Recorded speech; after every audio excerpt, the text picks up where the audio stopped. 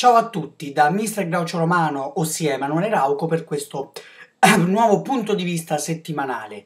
È stata la settimana della notte degli Oscar, uh, se volete metto qua sotto il link per riascoltarla tutta commentata da me e dai pazzi di Popcorn da Tiffany. Questo punto di vista non è per parlare degli Oscar, è per parlare di due film che sono usciti nelle sale in questo periodo, di cui uno ha vinto tre Oscar, tra cui il principale Oscar, quello per il miglior film, 12 anni schiavo di Steve McQueen, e l'altro è un film che invece è stato clamorosamente snobbato dagli Oscar. In realtà gli Oscar è solo un misero pretesto per metterli insieme, questi due film, eh, non è che c'entra veramente. A proposito di Davis, dei fratelli Cohen, è il secondo film, quello snobbato. Perfetto, detto questo. Li metto insieme perché sono due film che sono usciti da poco e mh, mm, mi aiutano, non è tanto una recensione di questi due film, le recensioni di questi due film ve le metto qui, una qui e una qui, uh, sono due film che mi sono piaciuti molto, sono due film che reputo molto belli, quello dei Cohen è il naturale proseguimento di un percorso di maturazione, anche di uh, essiccazione del loro cinema, sempre più uh, essenziale, sempre che va sempre più a fondo della storia e della cultura americana, non per questo non parlando dell'oggi, anzi raccontando una storia di un perdente molto attuale, così come molto attuale, molto contemporaneo, che, che ne dica qualcuno, è anche 12 anni schiavo, uh, che è interessante perché questo video artista, questo regista innovativo, a tratti molto sperimentale come Steve McQueen si confronta con una storia più classica, con temi più classici e più uh, fruibili al grande pubblico, ossia schiavitù, libertà, eccetera. Come queste due cose si mescolano insieme.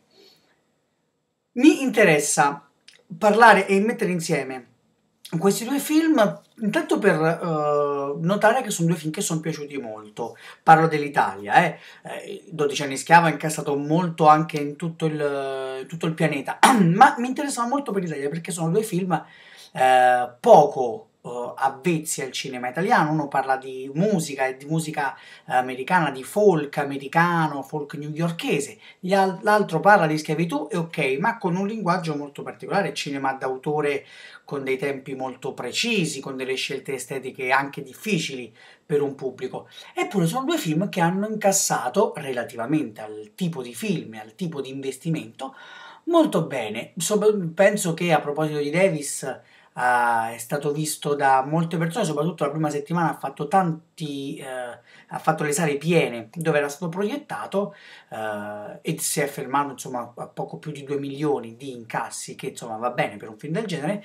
Ancora più sorprendente invece la cavalcata di del film di Steve McQueen che incassa tantissimi soldi, sono due settimane, anche durante tutti i giorni incassa, l'Oscar fa molto incassare e sono due film che sono anche molto piaciuti al pubblico. Se per il film dei Cohen, in questo senso, il pubblico del film dei Cohen è in un certo senso il pubblico che ama i Cohen, è un pubblico critico, eh, esperto di cinema, appassionato e quindi ci sta che il gioco, come posso dire, che ci sia un'unione di intenti tra critica e pubblico, mi stupisce invece come il pubblico abbia molto apprezzato 12 anni schiavo, eh, perché poi sono e lo dico perché sono incassi che non sono relativi alla, ai, ai, primi giorni, sono incassi che durano da un paio di settimane, e, e invece l'Italia è l'unico paese in cui il film è stato abbastanza maltrattato, non dico generalmente, dico che però molti, soprattutto tra i più giovani, hanno storto il naso.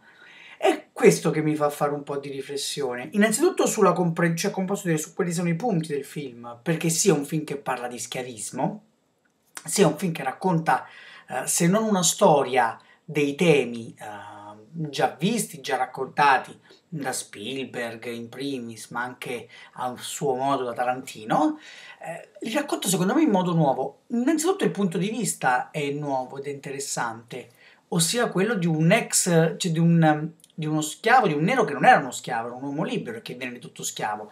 Questo già porta lo spettatore a riflettere su qualcosa di fondamentale. Non, sono, non si nasce schiavi, si nasce liberi e si diventa schiavi.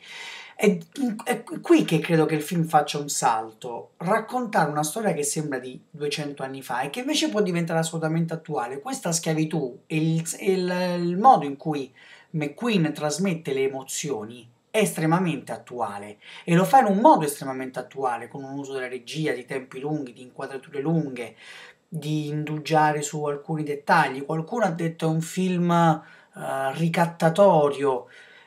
Co- come fa a essere ricattatorio una, un campo lungo di 3-4 minuti in cui c'è solo un personaggio fisso? Come fa a essere ricattatorio un, um, un prim- de- dei primi piani in cui non accade nulla? Ma accadono minimi, delle minime variazioni di volto sulla faccia del, del protagonista.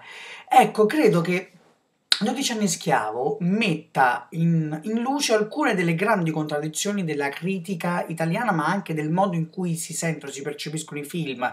Si valuta un film sulla scia di, qual- di, qualcuno che l'ha già valutato. Questo è anche colpa del fatto che i film escono spesso molto dopo e quindi si ha già un'idea di come questo film viene valutato. Ma in molti hanno valutato il film perché era stato candidato a 10 Oscar e quindi deve essere un capolavoro. È come se Oscar fosse necessariamente sinonimo di qualità e quindi 10 Oscar uguale a 10 capolavoro.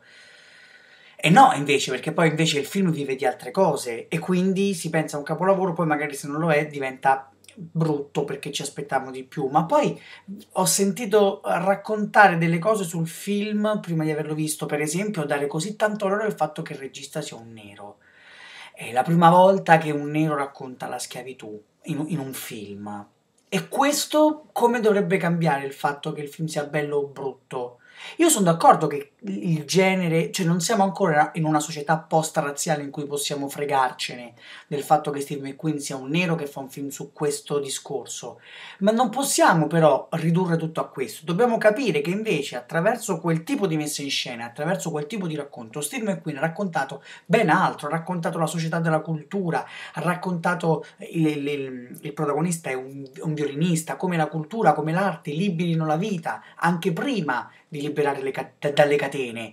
E questi temi sono stati tutti appiattiti in bene o in male da qualcosa che non ha a che fare con la critica, ma ha a che fare, ed in Italia i giornali lo dimostrano, con qualcos'altro, con, una, con non, il colore, con il sentito dire. E invece, se ci si perdesse un po' più di tempo a non pensare che quel film è il miglior film per l'Academy, ma è un film che dice qualcosa, qualcosa di bello, Ecco, e questo poi mi ricollego anche al video che avevo fatto sul, sugli Oscar e su quelli che sfogano negli Oscar tutte le rabbie di una vita, manco fosse una partita di calcio. Questo la dice lunga su come è ridotta la cultura in Italia. E non, non tanto la cultura, la, la, riflessione sulla cultura, l'intelligenza in Italia, ecco.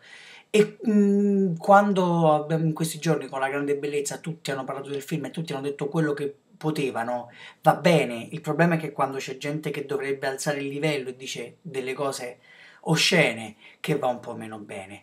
Ci ho infilato i Coen a forza perché comunque mi piaceva metterli, mi piaceva far notare che questo film è molto bello ed è una grande colonna sonora, però in realtà il video era su 12 anni schiavo. Vabbè, vi ho fatto un tranellone.